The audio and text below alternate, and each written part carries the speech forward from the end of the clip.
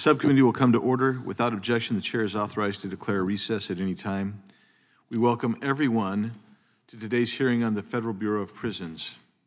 Um, I ask uh, our friend from Florida, Ms. Lee, if she'll lead us in the Pledge of Allegiance. Pledge allegiance to the flag of the United States of America and to the republic for which it stands, one nation indivisible, with liberty and justice for all. Thank you, Ms. Lee. Without objection, the gentleman from Maryland, Mr. Ivey, will be able to participate in today's hearing for the purpose of questioning the witness if a member yields him time for that purpose. I see no objection. I now recognize myself for an opening statement. Again, I thank the members for coming. I thank the direct, Director Peters for coming today and uh, uh, the audience. We, we appreciate you being here. This hearing is oversight of the Bureau of Prisons. The Federal Bureau of Prisons is a component of the Department of Justice. BOP's mission is to protect society by confining offenders in the controlled environments of prisons and community-based facilities that are safe, humane, cost-efficient, and appropriately secure. And they, BOP provides work and other self-improvement opportunities to assist offenders in becoming law-abiding citizens. At a time of rising crime, this is a critically important function.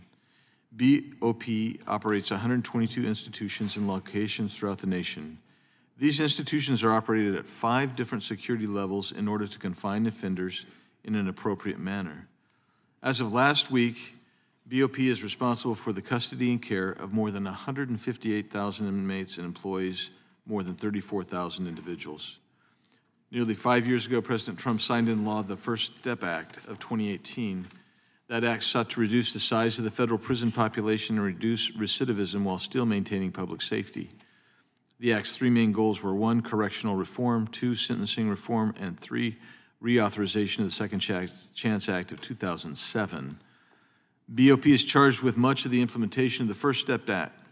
As I mentioned earlier, we're experiencing a nationwide spike in crime and it's vital that BOP gets this implementation right.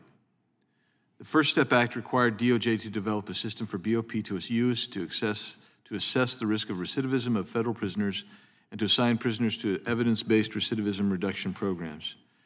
These programs include literacy programs, occupational educational programs, trade skill programs, and substance use disorder programs. Inmates who complete the recidivism reduction programming can earn additional time credits which allows them to be placed in home confinement or an RRC earlier than they would have been. This is why I said BOP needs to make sure they get it right. We cannot allow criminals to be leaving our prisons early unless we can ensure that they will not reoffend.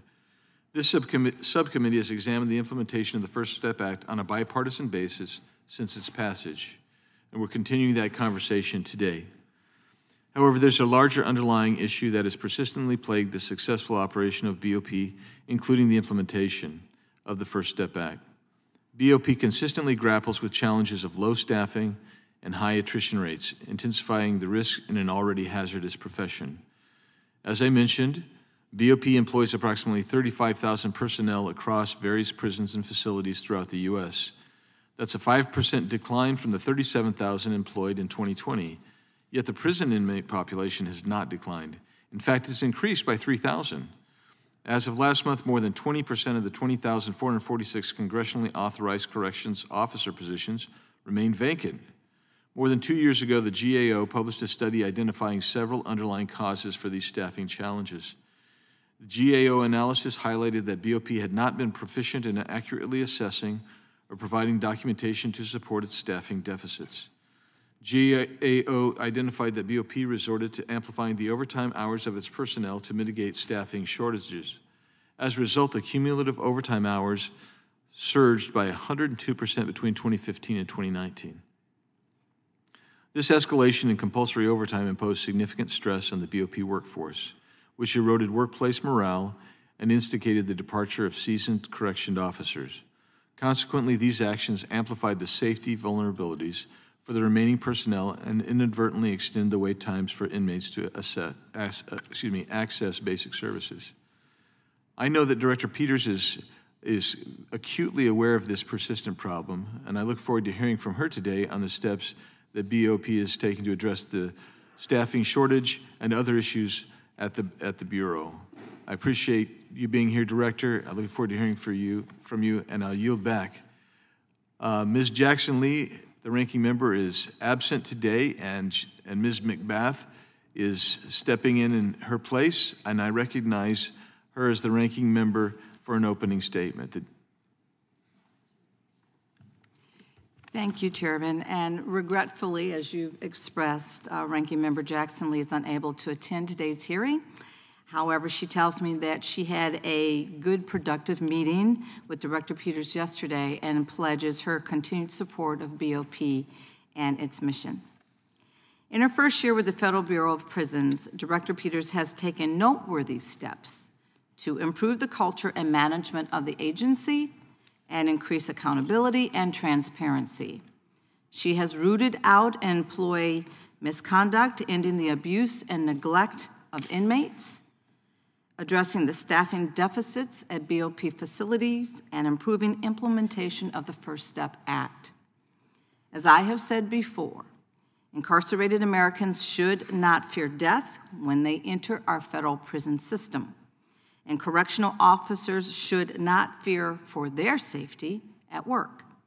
Our federal prisons must serve not as just institutions solely for confinement and punishment, but also for rehabilitation and preparation for successful reentry into society. We, as members of Congress, have a duty to the inmates that are housed in our BOP's facilities, the communities that they will eventually return to, and the nearly 40,000 employees in the BOP, I mean, 40,000 employees in 122 BOP institutions across the country. That is why I joined with Representative Kelly Armstrong, along with Senators Dick Durbin, Jon Ossoff, and Mike Braun, to introduce the Federal Prison Oversight Act, allowing, following a 10 month investigation into corruption, abuse, and misconduct at U.S. Penitentiary Atlanta, where I represent Georgia, and within the entirety of BOP. Across the country, there are numerous cases involving misconduct of BOP employees, ranging from theft of government property, obstruction of justice, and sexually abusing prisoners. These cases do not provide a full picture of employee misconduct at BOP. According to the agency's annual Office of Internal Affairs report, investigators opened 14,361 cases in the most recent three year period involving alleged misconduct by a staggering 17,907 employees. In the most recent fiscal year, when misconduct uh, allegations were lodged against almost one of every five BOP employees, the charge was deemed sustained nearly 30% of the time. The majority received nothing more than a written reprimand or suspension. And in about one of every 25 cases, no action was taken at all. While it is important to identify and hold bad apples responsible, it is doubly important to put in place measures that will deter future employee misconduct and discourage cover ups. We know that the problems facing BOP have existed for quite some time, and we also recognize that change will not happen overnight. But there are dangerous conditions which still exist today that threaten the safety of inmates and staff and require our immediate attention. Just two months ago, a whistleblower claimed that staff at FCI Hazleton are covering up serious misconduct that includes releasing the wrong inmates, physically and verbally abusing inmates, using racial slurs, attempting to cover up inmate escapes, and misusing restrictive housing. Such behavior is unacceptable and cannot continue.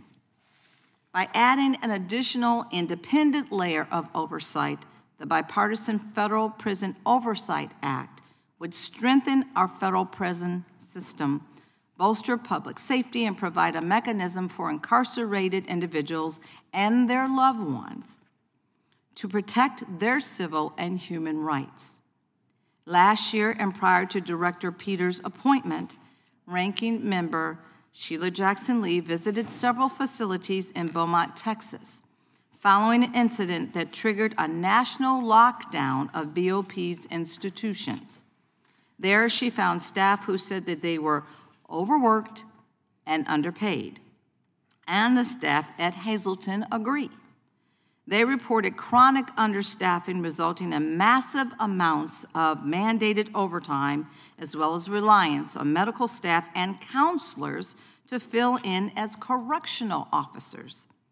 Staff at USPI Atlanta and FCI Jesup experiencing similar staffing issues report that fatigue, exhaustion, and low morale have reduced staff productivity and led to more sick leave, retirements, resignations, and staff leaving, leaving to other agencies for better pay. Since Ranking Member Jackson Lee's visit, Director Peters has deployed various strategies to recruit and retain staff by securing and providing retention incentive bonuses at certain facilities and changing the marketing messaging. I am encouraged by a conversation that I had with her just recently where she explained that the BOP's turnover rate has decreased by 20%. Staffing is at 70% for correctional officers. The agency is at 90% overall staffing and 198 out of 200 positions for reentry coordinators have been filled. In addition to staffing challenges, an increasing number of facilities and supporting infrastructure have reached or exceeded their usable their useful life, such as USP Atlanta, which is one of the oldest BOP facilities in the country. So far, Director Peters and her team have identified a $2 billion deficit around the facilities that prioritizes only those repairs and improvements that address risks to life and safety. To be clear, Director Peters has made great progress during her short term at BOP, and she should be applauded for that. Not only has she taken steps to better care for BOP staff, she has also prioritized humanizing conditions for prison population. In our recent conversation, Director Peters shared that BOP is collaborating with the National Institute of Justice to improve the use of restrictive housing while BOP staffers are surveying various states to determine best practices, which should please many of us. I am sure that, like me, Ranking Member Jackson Lee would want to know when we can see a change in BOP's use of restricted, restrictive housing since recent statistics show that BOP is utilizing this practice more now than in the previous decade. There is still so much work to be done at BOP, an agency that is a critical component of overall safety of the country. The agency has a responsibility to focus on each of the critical issues it faces to carry out the ideals of justice and accountability while promoting successful rehabilitation and, maintaining the custody and control of incarcerated prisoners and persons in a humane and safe manner. In sum, BOP must fully carry out every aspect of its mission, and Congress must ensure BOP has the tools and funding that it needs to do so. Thank you for being here today, Director Peters. I look forward to our discussion and ask uh, Mr. Chairman for unanimous, unanimous consent to enter into the statement of Ranking Member Jackson Lee. Without objection. Record. Thank you. Gentlelady yields back. Uh, without objection, all other opening statements will be included in the record. I will now introduce today's witness, uh, Ms. Colette S. Peters. Ms. Peters is the Director of the Federal Bureau of Prisons. She was sworn in by the Attorney General on August 2nd, 2022. She oversees 122 Bureau of Prison facilities, six regional offices, two staff training centers, and 22 residential reentry management offices. We welcome our witness today and thank her for appearing. And now we'll begin by swearing you in, Director. If you would please rise and raise your right hand. Do you swear or affirm under penalty of perjury that the testimony you are about to give is true and correct to the best of your knowledge and information and belief, so help you God? I do. Let the record reflect that the witness has answered in the affirmative. Um, Again, uh, I want you to know your written testimony has been entered into the record in its entirety. Accordingly, we will ask you to limit your opening remarks to five minutes. Uh, You'll see a yellow light, then a red light, and, um, and then after that, I'll kind of wave at you and maybe tap on the thing to just to remind you to, to, to wrap up. But we're, we're looking forward to hearing from you. And uh, with that, Ms. Peters, you are recognized for your five-minute opening statement. Thank you, Mr. Chair. Good morning, Chairman Biggs, Ranking Member uh, Jackson Lee is not here. Thank you, Congresswoman McBath, uh, and members of the subcommittee. I am honored to appear before you today to discuss the important and impactful work happening at the Federal Bureau of Prisons. Since I was sworn in last August, I have visited more than 25 of our institutions, and these are my best days. It is a privilege to meet our corrections professionals while walking the halls of our institutions. They truly are my inspiration, and I am grateful for their dedication. It is with their important work in mind that we engaged in strategic planning and modernized our mission, our vision, and core values. We are now guided by the principles of normalcy and humanity and core values that emphasize accountability, integrity, respect, compassion, and correctional excellence. We engaged in proactive outreach to members of Congress, members of the media, advocacy organizations, and justice involved individuals, while maintaining a very collaborative relationship with our national union. This strategic vision, along with clear expectations, has put us on a course for success. The vast majority of our employees are hardworking, ethical corrections professionals who expect that those who are engaged in misconduct be held accountable. We added substantial resources in this last year to our Office of Internal Affairs. We collaborated with our law enforcement partners to investigate criminal misconduct and held individuals accountable up to and including termination and prosecution. I have communicated clear expectations that misconduct and retaliation will not be tolerated. I also want to address restrictive housing because despite our efforts over the last few years to drive these numbers down, we have seen them increase. While I am glad to report that we have seen them start to decrease over the last couple of months, we have much work to do. We know restrictive housing is not an effective deterrent, and it can increase an individual's future criminality. So we created a short-term plan and a long-term plan. First, we formed a work group comprising of our members of our executive team who have traveled across the country to review best practices from other correctional systems uh, around the country and around the globe. Long term, we entered into a historic partnership with the National Institute of Justice, and they are going to bring an external organization of experts in to provide recommendations. The success of reforms like these will rely on the work of our correctional professionals, and we need more of them.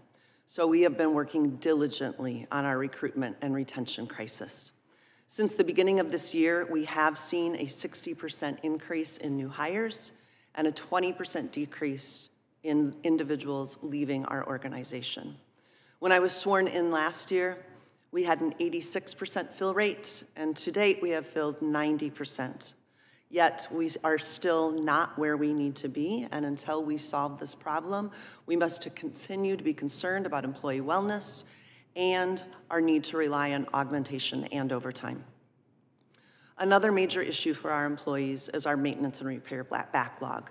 Healthy facility structures are critical to our operations. And yet we have a $2 billion maintenance and repair backlog, which only accounts for the most serious categories, those sa safety and life categories.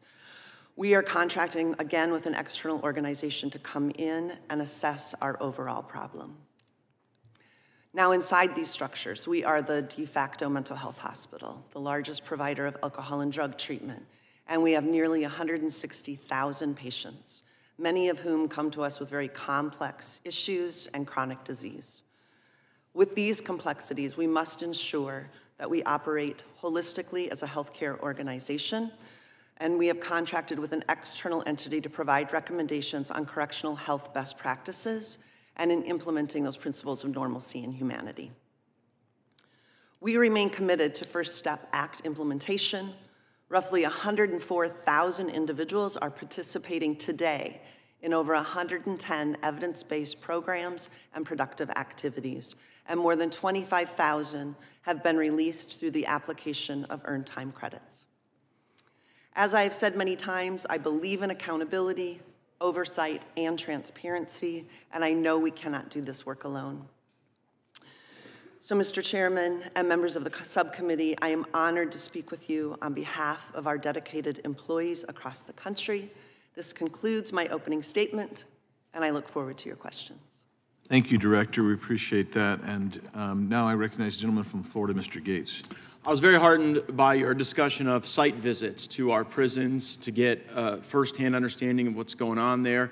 Uh, sometimes members of Congress have had challenges doing that. Could you give us some advice if, if we wanted to glean those benefits and get that firsthand uh, experience? But what's the best way for us to go about that with your team? Thank you, Congressman. So if you have your team reach out to our Office of Legislative Affairs, we will be happy to make that arrangement. Thank you so much. Um, does the Bureau of Prisons retaliate against people based on, political, on, on constitutionally protected speech?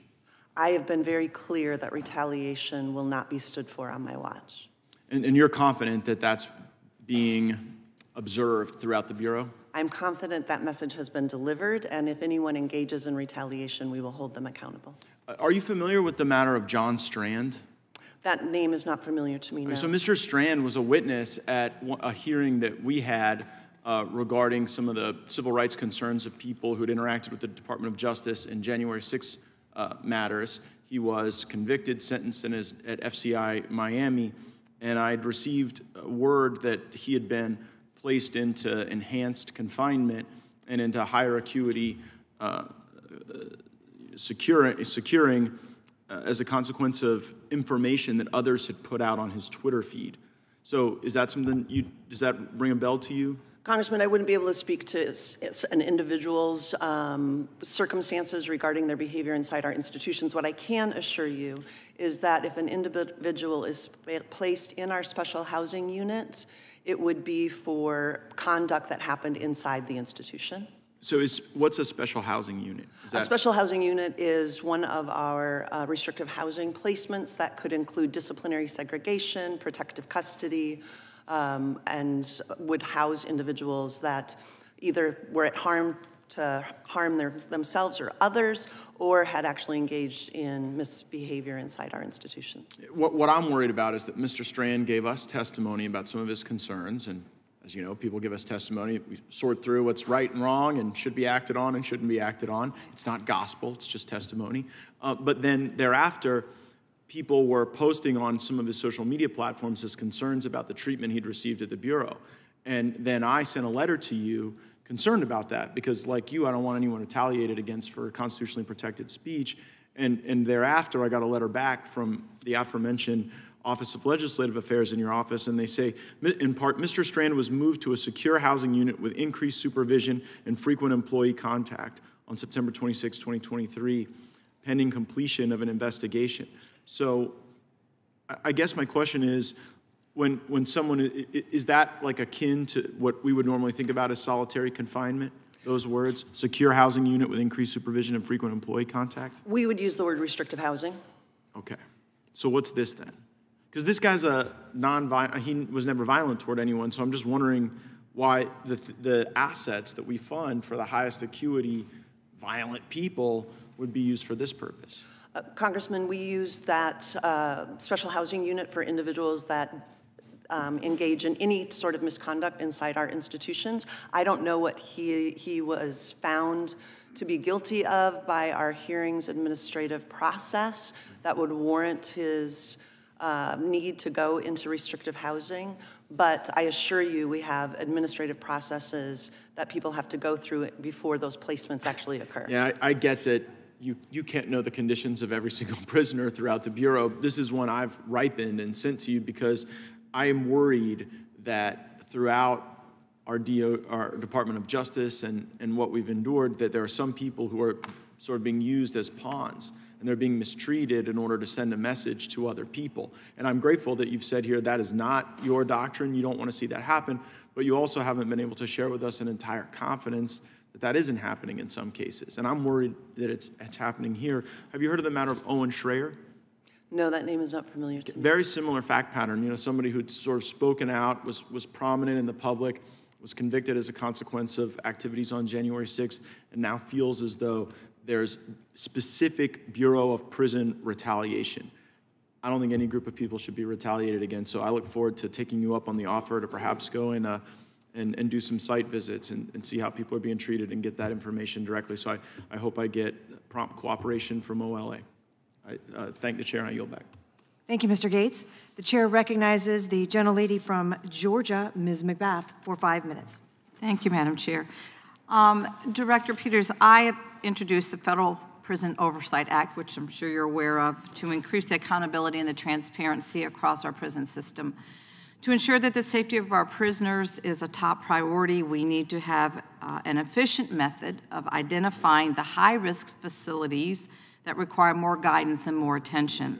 Director Peters, you know, what system uh, or metric system does the BOP offer to be able to identify these kinds of facilities? Thank you, Congresswoman. I think that we have a variety of oversight that helps us identify the high risk facilities, including oversight from the Government Accountability Office, the Office of the Inspector General, and also our Program Review Division, who conducts um, audits of our institutions, including unannounced site visits and audits. And we rely on that data, including our uh, regional offices that go in and perform um, independent reviews, interviewing the adults in custody, interviewing our employees, and creating an assessment of each one of our institutions um, so that we can address problems early on um, rather than waiting uh, down the road. Thank you. And in our meeting last week, we discussed the national recidivism rate, and I was pleased to learn that BOP has achieved a staffing level of reentry coordinators to 99%. That I commend you on that, with 100% expected very soon. What steps should we, as members of Congress, take to support those reentry programs and to reduce recidivism um, rates further than where they are now? Thank you, Congresswoman. I think resources are always the issue. I think the, um, our ability to contract with our residential reentry centers is really a golden nugget at the Federal Bureau of Prisons because they are in the communities that these individuals are coming back to. They know what resources are there, and they're able to provide those wraparound resources as it relates to programming, treatment, education, employment, so that they become productive tax-paying citizens once they enter our community. And last Congress, Ranking Member Jackson Lee, who's not with us today, convened two hearings on the oversight of BOP with a focus on the need to implement the First Step Act. Um, she wanted to implement that fully and very, very thoughtfully. Since then, Director Peters has created policies that have actually corrected BOP's implement, implementation of FSA, First Step Act. Yet inmates continue to complain about the lack of classes and I understand that there is still no reliable calculator yet to determine the number of FSA credits that a prisoner can actually earn during their time in prison, and a shortage of halfway house placements. Director Peters, can you just kind of tell us how you intend on solving this problem? Thank you, Congresswoman. So we're very proud of our First Step Act implementation. We have over 104,000 people participating in programs today in over 110 evidence-based programs and productive activities. and yet we can do better. As we ha- now have pivoted out of the pandemic, um, being able to pull people into classrooms was difficult during that time period. And now, as I visit our institutions and talk to our employees and our wardens, they're thrilled to talk about the ideas they have around expanding our programs and expanding space inside our institutions. That's been really difficult. Um, so they're getting really creative about that as well. I think your expansion of Pell Grants and the access to those in our care and custody is going to be magnificent for this population and their ability to engage in that higher level education after receiving their GED. So I think we are on the right track. Again, you talked about um, overtime and augmentation, so recruitment and retention. Solving that problem is going to solve a lot of other underlying problems at the Bureau, including our ability to continue that programming so we're not pulling those people that leave those programming or those teachers from their, their posts as teachers onto the units to be correctional officers. I have one last question for you. Would you object to an additional layer of oversight at BOP? I always welcome oversight. I'm going to say that again and again. Um, the only thing I would ask is that when you consider additional oversight in legislation, that we then receive the appropriate resources so that I'm not left flat footed with additional requests and additional oversight or additional requests for information, and then we don't have the staff and resources to respond in a timely and efficient manner. Thank you so much, appreciate it. Thank you. Thank you, Congresswoman McBath. The chair now recognizes the gentleman from Texas, Mr. Nehls. Thank you, Madam Chair. Uh, Director Peters, thank you for being here. Uh, as you know, in 2018, President Donald J. Trump rightfully rolled back Obama era policies related to its transgender offender manual. President Trump's policy simply removed a sentence that instructed BOP officials to consider transgender inmates' gender identity when making decisions regarding prison housing. President Trump mandated BOP officials use biological sex now, biological sex, as the initial determination for placement decisions. I believe this was common sense. I think America would agree. Uh, ladies uh, should be held with ladies, and I think men should be housed with men. But in a string of policy reversals over the past three years, President Biden reissued Obama's guidelines. Given even further to require prison staff to use a transgender person's preferred names and pronouns. Uh, you agree with this? Uh, Congressman, we are required to provide medical and mental health care for all individuals, including those who So that answer, then that's a yes? Pretty much a Yes. yes? Okay. In your testimony, you stated recognizing that incarcerated women, including those in the LGBTQ community, require different resources and support than men. We recognize that we must create environments now, create environments for these bad hombres that respond to the realities of women's lives and address the issues specific to their lived experiences, end quote. So, can you provide the definition of a woman? What is a woman, uh, since you believe there's a difference? Uh, Congressman, so I think in the supermajority of our housing placements at the Federal Bureau of Prisons, we place individuals based on their biological sex. Um, all but 11 individuals at the Federal Bureau of Prisons are um, placed in housing assignments based on their biological sex in their. When does that start then, Director? So, okay, so I just got convicted of robbing convenience stores. And all of a sudden I go to court and they convict me and I'm going to prison. And now instead of saying my name is Troy Nehls, I'm now going to say my name is Susie Nehls. And I am a woman, right? I just make that claim. At what point in time during this spectrum will that allow me then to release the bull into the pen of heifers? So, Congressman, in this scenario, I suspect you're talking about producing a false claim and that. Well, whatever. I mean, how can you deny it? man. I believe I'm a woman now. But what, what would happen then is it would trigger a very complex, serious evaluation from degreed medical, medical doctors and psychologists who would conduct an evaluation um, based on your gender identity. Have we released, to your knowledge, have we released anybody that has not gone through the transition into the pen of heifers? Have we released them? Sorry, sir. Yes, if I say I'm a man, I'm a woman now, and I haven't had any surgeries up to this point. Maybe I'll get them while I'm in prison, because I'm assuming we're paying for those, right? We have paid for two gender affirming Hey, too. surgeries. So once you start, You're going to continue. You ain't changing that, right? There are five. I mean, look at this guy. This is an interesting guy, folks. Look at this guy. His name is Peter Langan. He got long hair. Look at this guy. He looks like a bad, bad guy. He's a bad guy. He's a, he's a Nazi, ex Nazi terrorist. He's a bad, bad hombre. And this guy wants to be referred to as Donna. Do your, do your employees, do you require them to say, call this guy now named, he must be called Donna? Uh, Congressman, no, and in fact, in order to produce a name change. Well, he's suing, he's suing you all because he wants to, uh, he wants to, he's claiming that his Eighth Amendment rights were violated for not being provided gender conforming surgery. For the people at home, this man is an ex Nazi bank robber. In June, his lawsuit was settled, and I'd like to know whether this means that inmates now have the Eighth Amendment right to sex changes. Are we paying for guys like this who are just sick? We send them to prison, we're restricting their freedom, and now this guy says he wants to be Donna. I suppose I understand why he'd want to be Donna, because you want to release this guy into the pen of heifers. You're releasing the stud into the pen of heifers, is what you're doing. Isn't that what a guy would want to do? If I'm going to prison for 10 years and you're restricting my freedom, I guess I would want to go to the prison where the ladies are. Wouldn't you suggest that? Wouldn't that be a good idea?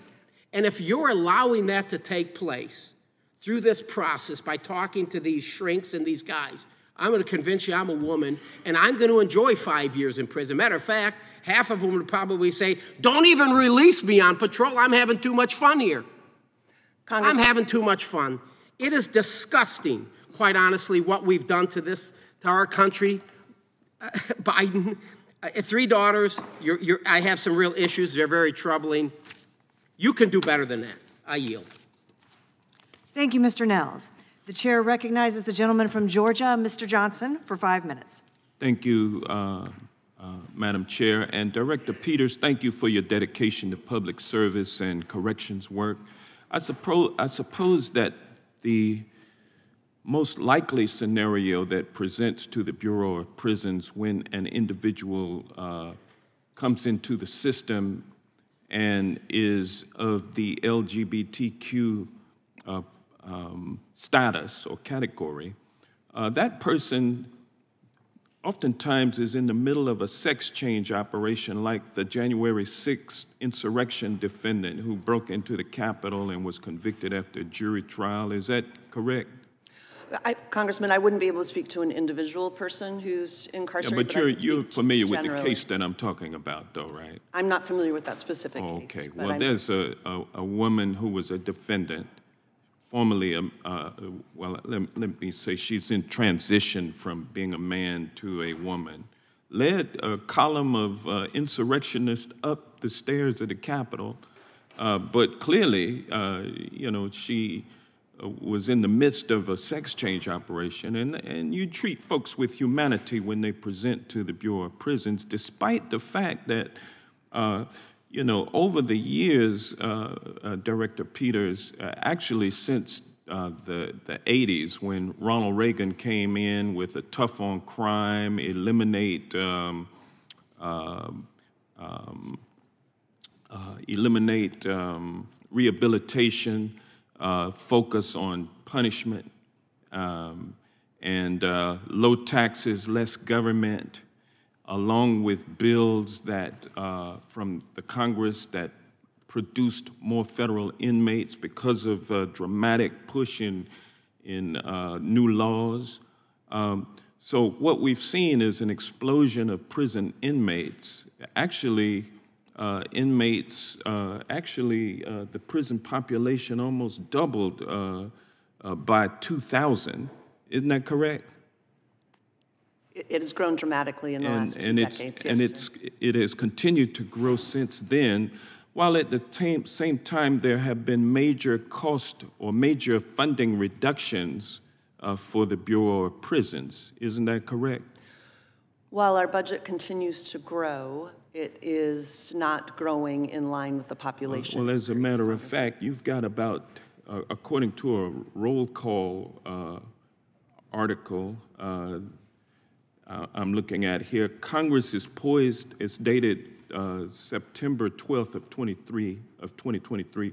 Congress is poised to spend less next fiscal year on federal prison infrastructure, even as a federal watchdog reported this year that the agency is in dire need and has lowballed maintenance funding requests for years. And according to this article, uh, you've got about $2 billion in uh, needs, but yet uh, funding from this MAGA Republican uh, Republican uh, conference in 2023, their draft Commerce, Justice, and Science spending bill puts forward uh, a mere $273 million. Isn't that correct? Congressman, we have a $2 billion reported problem. I will share with the committee that's an old number. We're hoping to get a better assessment on a on It's the around, number. it- it's far more than It's far more than 2 273 billion, million. and over the last 10 years, the average allocation for maintenance and repairs was about $100 million a year. And so also staffing shortages are impacted by reduced federal revenue, isn't that correct?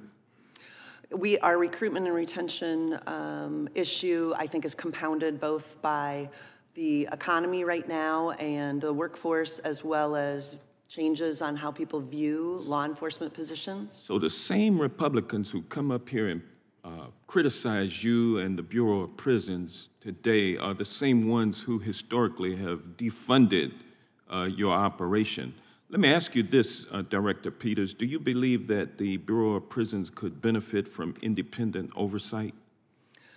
Uh, Congressman, as I've said before, I, I believe in oversight. I welcome oversight, and um, it, we've made it very clear inside the Bureau that when the Government Accountability Office um, shows up for an audit or the Office of the Inspector General comes in for an unannounced audit, that we will open our doors and welcome them in. Do you think that would be helpful? Yes, I do. I believe that that oversight is helpful. Um, The Office of the Inspector General has begun unannounced audits and visits now that we are out of the pandemic, and I think those visits have proved very, um, very helpful. Thank you. I yield back. Thank you, Mr. Johnson. The chair now recognizes the gentleman from Alabama, Mr. Moore, for five minutes. Thank you, Madam Chairman. Uh, Director Peters, thank you for being here today. And, uh, you know, um, as a Christian, I know a lot of times we live under grace and, and we certainly need forgiveness. And, and I don't think there's an exemption for prisoners. I think people who are incarcerated also need second chances. I'm, I'm a proponent of that. And in Alabama, we have an amazing prison system. And one of them spe- specifically is J.F. Ingram, where they actually bring the in, incarcerated individuals over to a college next door. And they do this, certain individuals are picked out, and then they train them in skills. And so some are certified welders when they come out, some are body people, some can do cosmetics, all kind of neat stuff. And we've learned that the recidivism rate is so much lower coming out of JF Ingram right now than any system in Alabama. And so I'd encourage you to look at the model there for what they do. You actually, being a, as a business owner, people come to me all the time looking for jobs. And so if I got an individual that walks in that's been incarcerated, but he actually can lay a bead on a welder, I may not start him at the same pay rate that I would somebody who has a clean record, so to speak.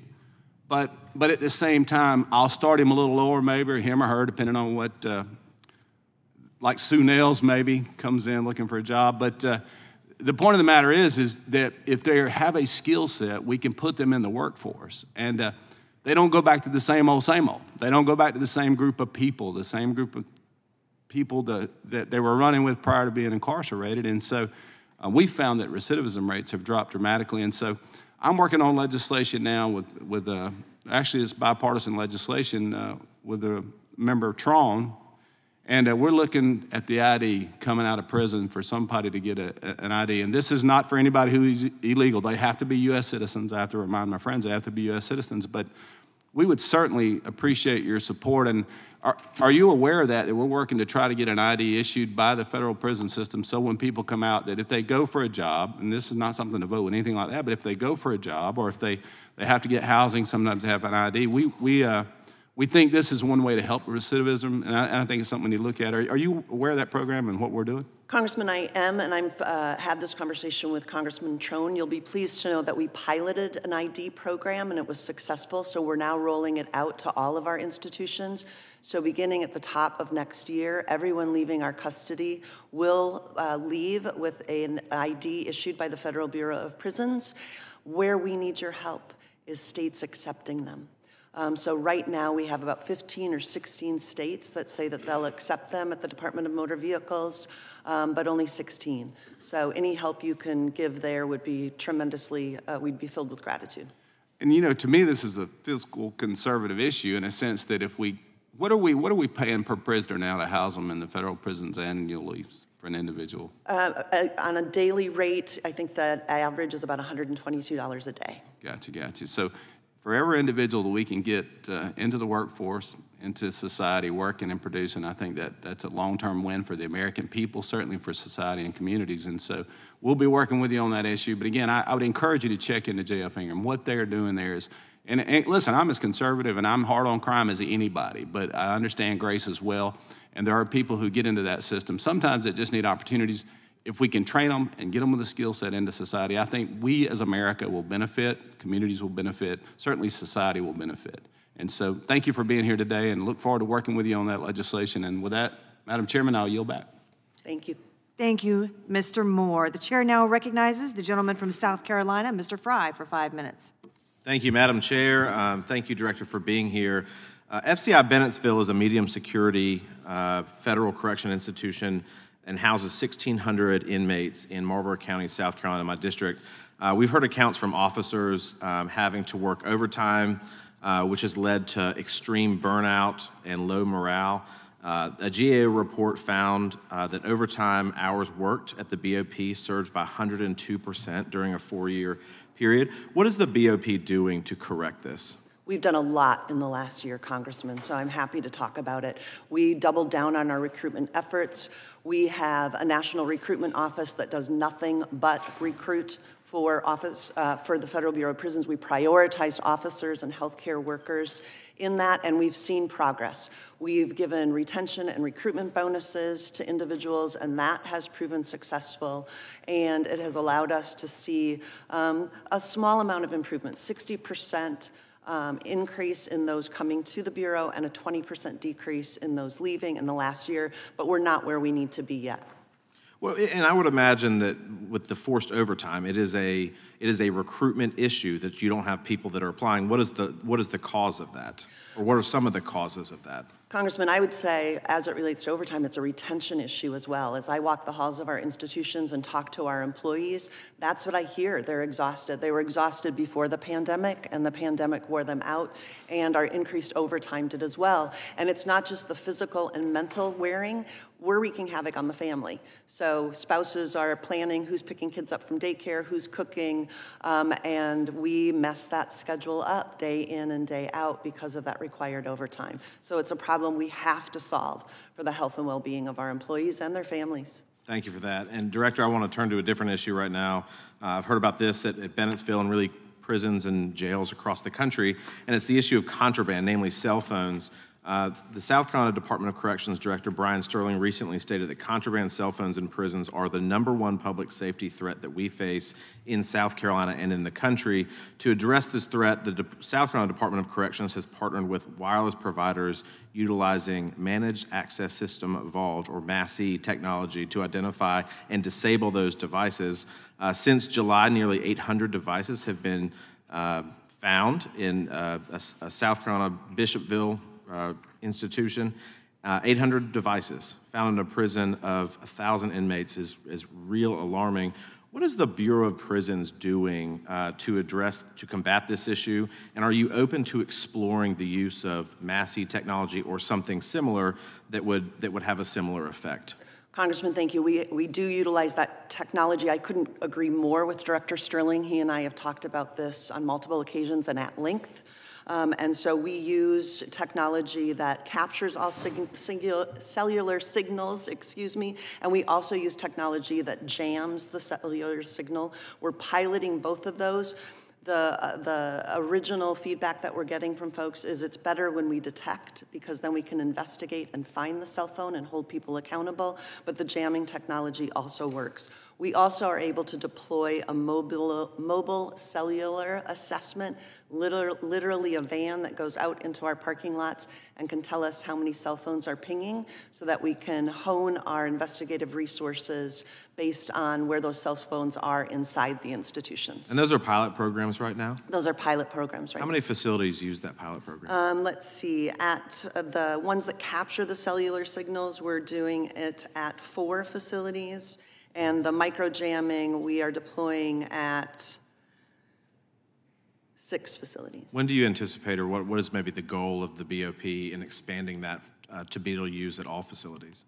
Uh, Again, it would require resources from Congress, but it would be uh, incredibly beneficial if we could have these at all of our institutions. We're focusing on our high-risk, uh, high-classified facilities right now, but these are also issues at our secure lows and our camps. And so we would appreciate being, have, having access to this technology at all 122 facilities. What do you think the cost of that would be? Congressman, I don't know what that would be, but I can talk to my team and get back to you. Please do. I'm certainly interested in that. I'm going to shift with my last 25 seconds. One of the things that I'm looking at is BOP pays um, a range from GL5 to GL8. Other agencies like ICBP, they pay at a different rate, a much higher rate. What factors uh, contribute to BOP's starting salary being lower than other agencies? Uh, and are you open to raising that base pay to, to, to help attract and retain uh, individuals at BOP? Absolutely. So um, our officers do not get paid enough. Um, we have trouble keeping them. State corrections will offer uh, higher salaries than what we pay. Um, even local sheriffs are able to pay more than what we're able to pay in certain regions. So we would welcome any changes to that pay structure um, and any support you could give in that, both in the pay structure and in the funding. We were able to increase this year by about $2,000, the top salary of our correctional officers, in hope to recruit a better and larger lot and retain the ones that we do have. Thank you, Director. Thank you. Thank you, Mr. Fry. The chair now recognizes the gentleman from California, Mr. Kiley, for five minutes. Thank you, Madam Chair. Uh, thank you for being here to testify. Uh, Director Peters, uh, I've always uh, strongly believed that a well-functioning criminal justice system needs to have appropriate penalties uh, for offenders, while at the same time uh, having evidence-based tools for rehabilitation in order to facilitate the reentry of, of, prisoners into society when they are released and to make them productive members of society. And, uh, you know, I come from a state, California, uh, where unfortunately both objectives uh, have, uh, have not been achieved, where we've lowered penalties across the board in really reckless ways while also uh, undercutting uh, the capacity of our criminal justice system to rehabilitate offenders. for example, a law called Prop 47 effectively legalized drug use, and that not only has led to the sort of horrific scenes that we see in places like San Francisco, uh, but it's also decimated the drug courts in our state because offenders no longer have any sort of entry point to then be, uh, you know, uh, forced to go into some sort of drug treatment program, and so people are not able to overcome uh, their addictions. So, uh, properly uh, understood, I believe that punishment and rehabilitation are not sort of contrasting approaches. Uh, to criminal justice, but rather uh, they go hand in hand and are both uh, serving the interest of public safety. Uh, another way in which this has sort of gone awry in California is something called realignment, where a lot of our serious offenders have been moved from the prisons into the county jails, which aren't really set up to have the sort of rehabilitation programs that are evidence-based and will help people uh, to turn their lives around. So I'm always looking for suggestions uh, for, uh, for my state, for the likes of Governor Newsom, who have gotten this uh, so wrong. Uh, and I'm, you know, looking at other states, and I know that uh, the federal government, the federal correction system, has recently undertaken some different approaches to rehabilitation with literacy programs, occupational education programs, trade skill programs, substance abuse disorder programs. So I was hoping you could just give us a little sense of how this is working out and where you've seen success. Thank you, Congressman. So as your previous neighbor to the north, as the director of the Oregon Department of Corrections, I know that in my capacity there, we collaborated closely with the California Department of Corrections on evidence-based programs, on these principles of normalcy and humanity. And at the Federal Bureau of Prisons, I think our mission aligns with everything that you've just said. It's dual mission. Our job is to ensure public safety, both inside our institutions, but also when they leave our institutions. I'm a former victim victims advocate, so I believe strongly that our job is to ensure they don't create new victims on the way out. But that second half of our mission is equally as important, and that's about providing programming and treatment and education so that they have the resources they need um, and the skills they need when they leave to be those productive tax-paying citizens. I think one of the jewels at the Federal Bureau of Prisons is our reentry uh, reentry centers in the community where we're able to contract with experts who live in those neighborhoods, live in those communities, and continue those services as they safely transition back into our neighborhoods. Would you agree with my assessment, since you have some insight on the matter, uh, that California's uh, realignment has uh, shifted, uh, you know, offenders into an institutional setting uh, that is not uh, well equipped to provide proper evidence-based rehabilitation? Congressman, I know enough about it to be familiar with what you're saying, but I'm certainly not expert enough to speak to the benefits or the outcomes of that process. Thank you. I yield back. Thank you, Congressman. Thank you, Mr. Kiley. The chair now recognizes the gentlewoman from Missouri, Ms. Bush, for five minutes. Thank you, and thank you for being here, Director Peters. Thank you, Congressman. Uh, St. Louis and I are here today in support of genuine transparency, accountability, and oversight in our federal prison system. Director Peters, as you know, you oversee a key component of our federal system of mass incarceration, um, you are responsible for the conditions faced by nearly 160,000 incarcerated people and 35,000 staff members. Right now, we understand our prison system needs a lot of work, it needs help, and for many, many see it as a disgrace. I want to touch on a couple issues in this limited time that I have. First, um, uh, I want to say thank you for the work that you have done and for what you are trying to achieve. I know that it isn't easy coming into uh, and trying to change a system that is already so broken. Um, but I am deeply concerned by um, what we hear about oftentimes is the pervasive medical neglect of incarcerated people and um, those who have reported month-long wait times for doctor's appointments and routine procedures, uh, retaliation from staff, and fear when seeking medical care. Uh, several deaths may have been preventable, prevented, uh, well, preventable, had proper medical care been provided. And this issue is personal for me and my constituents because right now we are facing the um, some of the same issues at the St. Louis City Justice Center. The Bureau must overhaul its approach to providing medical care for incarcerated people and set an example for local carceral facilities um, in St. Louis and around the country um, because we look to that to be able to go into those, into our local jails, um, to be able to say, this is what should be done, this is the example. The other issue I want to address is solitary confinement. It is shameful that solitary has increased in the Bureau during the Biden administration despite the president claiming he supported ending it. Director Peters, um, you have repeatedly recognized the harms of solitary and the need for holistic rehabilitative alternatives. You and I both know that solitary causes devastating harm and it worsens safety for everyone involved. Um, it drives anxiety, depression, psychosis, heart disease, self harm, and suicide. And I know you know this from even before in your, your background, before you took this position.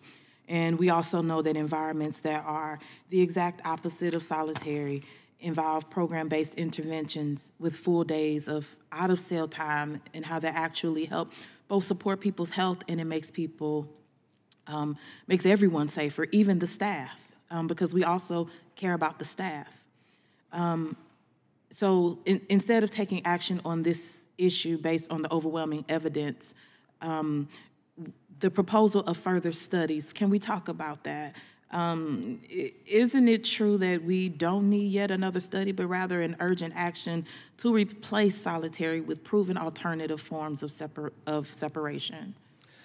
Congresswoman, first I'll address your health care issue. I want you to, uh, to assure you we want to be the model.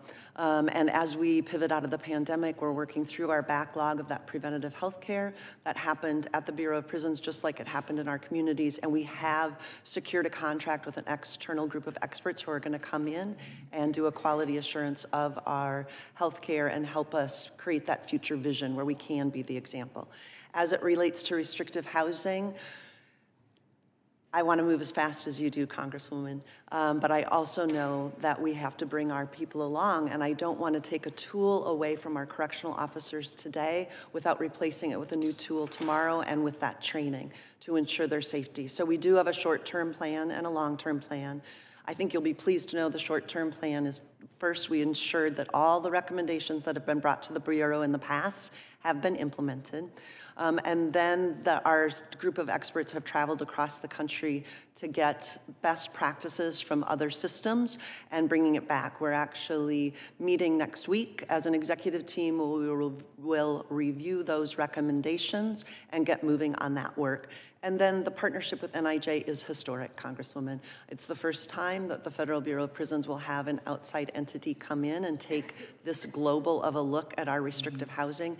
You and I share the same values. The more normalized environment we can create for the adults in custody, the better outcomes they'll have in the community, the fewer victims that will be created, and as you said, and most importantly, a better work environment for our people. Thank you. Looking forward to that, and our office will be in contact as that moves forward. And I yield back. Thank you, Congresswoman. Thank you, Congresswoman Bush. Uh, I now recognize myself for five questions, or for five minutes. Uh, Director Peters, thank you so much for, for being with us here today. Uh, I'd like to pick up right where you left off with Congresswoman Bush on the subject of special housing units. President Biden's executive order titled Advancing Effective, Accountable Policing and Criminal Justice Practices uh, touched on those special housing units and asked that you ensure that that type of housing is used rarely, applied fairly, and subject to reasonable constraints. Uh, I very much appreciate your prior answer indicating how much thought and study you are giving to the use of special housing units, uh, when and how they are applied. Uh, but also wanted to note that we hear many correctional officers, including representatives from the Council of Prison Locals, have endorsed the continuing use of special housing units as an essential tool for officer safety.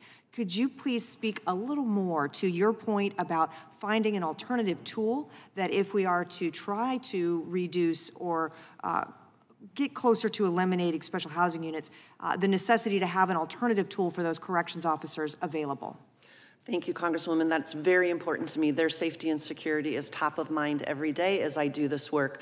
Uh, I think one of the data points that I'll uh, take a deeper dive on is those individuals who are in special housing who are there because they're in protective custody status. So either because they've asked to be in the special housing unit because they don't feel safe, or we've made an intelligence determination that they wouldn't be safe in uh, the general population. And so um, that's a large portion of our special housing unit. And so I think um, one of the recommendations that I'll likely uh, dive into more next week with my executive team is this notion of creating more safe and humane environments inside the prisons so that those individuals in protective custody status feel more comfortable in our general population units. And our uh, re, uh, reintegration units do just that help these individuals step down from that higher level of restrictive housing in a safe way, uh, safe for them and safe for our officers. And so I think that's a great model to advance this notion and these ideas. Thank you. I'd also like to touch on a new uh, effort to utilize licensed counselors in the Employee Assistance Program uh, as part of your overall wellness and retention program for correctional officers. Could you tell us a little bit about that? Have you gotten, have these changes been implemented? Have you gotten any feedback on how that program is going?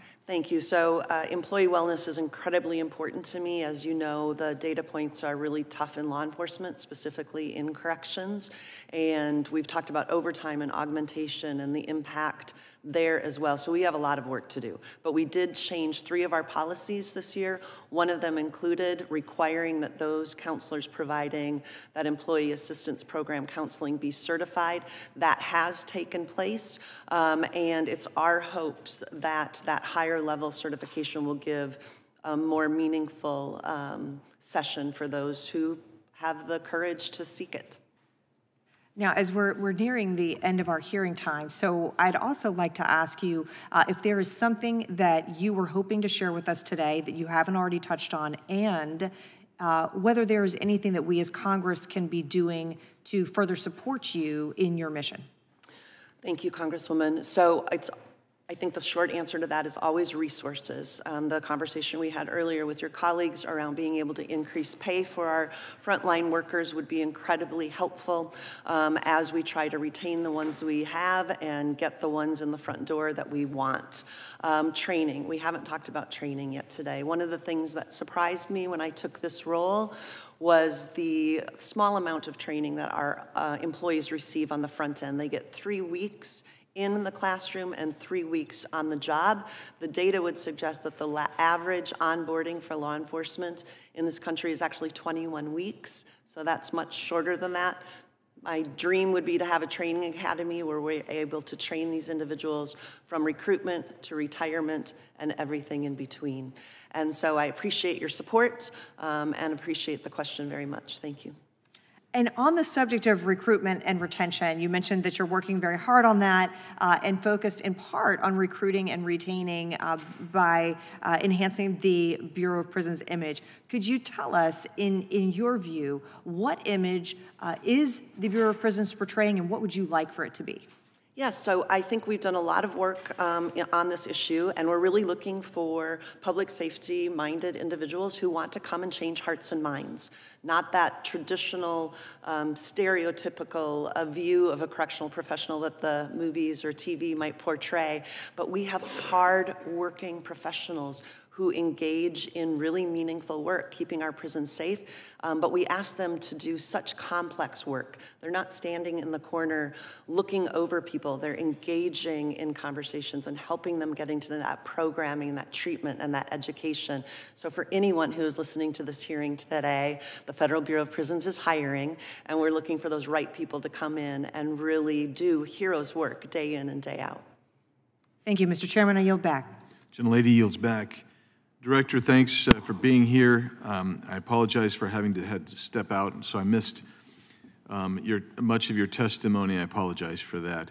Um, one of the things that we talked about the other day uh, in our conversation uh, was that um, on behalf of a particular committee, we're conducting an investigation where I need to be able to get into interview and meet with um, a, an incarcerated individual. And so uh, I, I didn't have this response, but the response that we had received from BOP was, quote, it is not generally agency practice to facilitate such a visit, um, close quote.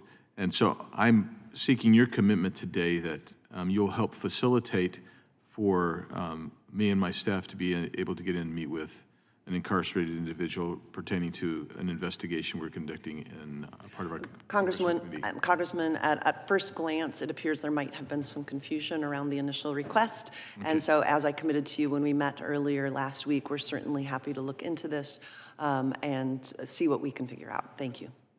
Well, I'm hoping it's more than see what you can do. I'm hoping it's you're going to facilitate this our, our interview of that witness. Congressman, if we can facilitate that visit, we will do everything we can to facilitate that visit.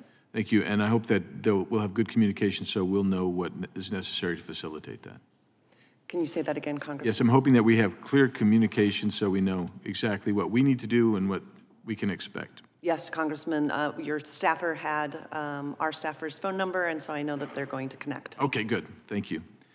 Um, question, does uh, the Bureau of Prisons have any contracts with state or local governments or other outside groups to house prisoners?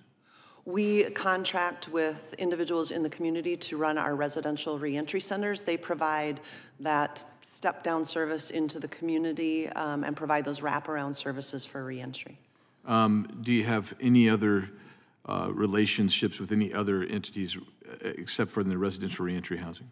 Um, we would have uh, government agreements with other corrections agencies if they needed to house someone that they didn't think they could safely house at the state level, then we would um, engage in a prisoner swap, if you will, where we would then send them one of ours. Okay, so it's an intergovernment agreement of some yes. kind? Okay.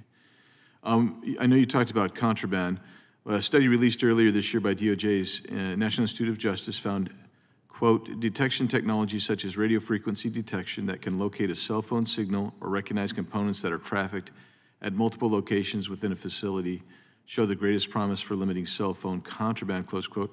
How widely is radio frequency detection equipment deployed within BOP? And do you have the resources you need to ensure such detection equipment is available?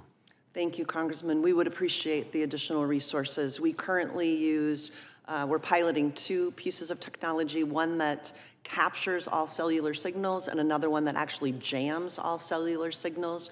The initial feedback I'm getting from my team is the preference to um, capture the cellular signals rather than jam them, because then we can actually deploy our investigative techniques find the phones and hold people accountable.